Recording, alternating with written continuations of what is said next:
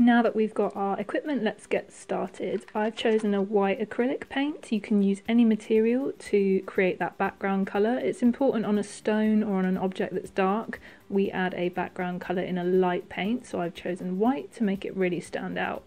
If you're using pencil or another material, just make sure that you've outlined the section that you want to put your design on and you could pick a background colour, light yellow or light blue to shade that in.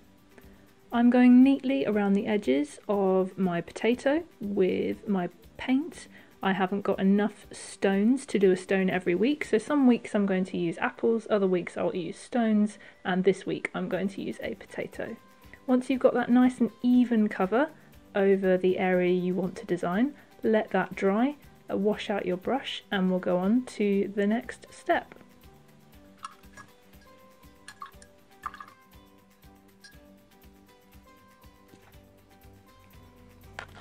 Just before the white paint has started to dry, choose your colour that you want to use for your background and paint around the edge with the darkest of that colour like I'm doing now and then work your way gently into the middle. If you've timed it just right then the white paint will blend in with the middle and give you a wonderfully 3D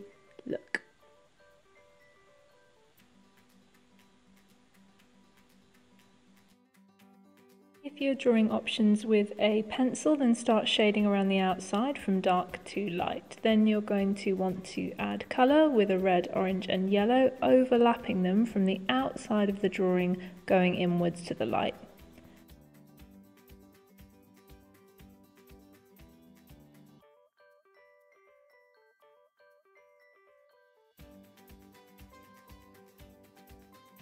Finally, add your word design with a regular black pen and add some details around the outside to complete.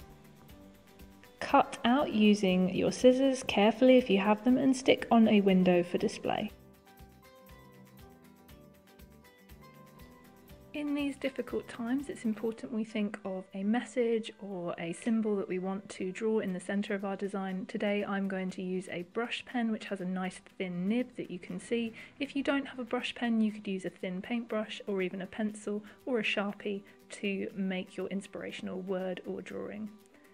I hope you've really enjoyed today's AJK Rocks workshop. I'm looking forward to seeing you next Friday at 4 for our next instalment.